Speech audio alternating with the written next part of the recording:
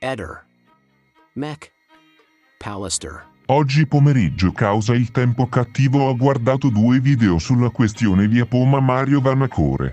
E sono arrivato alla conclusione che esistono persone e formazioni noetiche che distruggono, ignorano, mutano presupposti.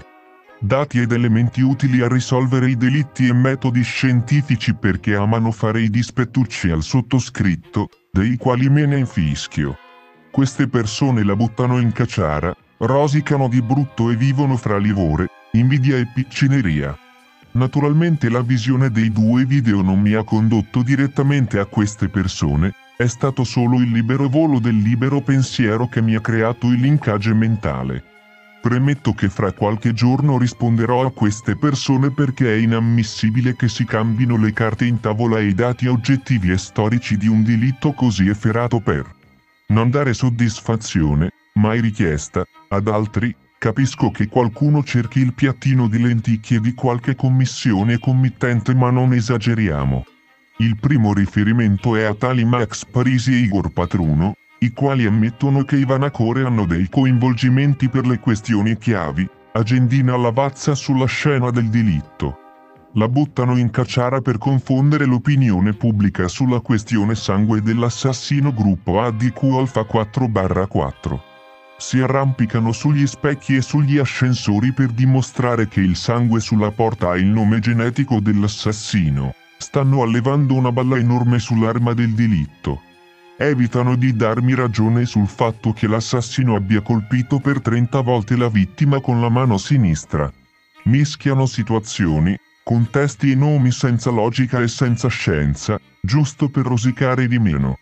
Fra qualche giorno darò una risposta a tutte le imprecisioni che hanno proferito, sembravano il gatto e la volpe colludiani, e sarebbe il caso che Max Parisi abbia una confutazione diretta con me. E lui sa benissimo il perché.